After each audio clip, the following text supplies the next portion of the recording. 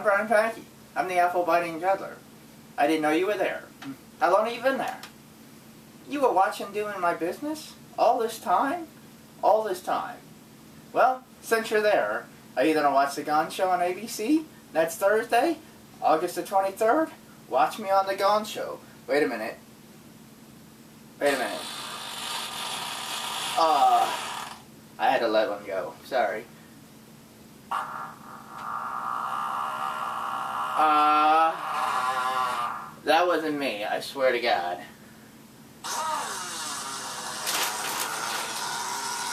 See what happens when you eat too many apples?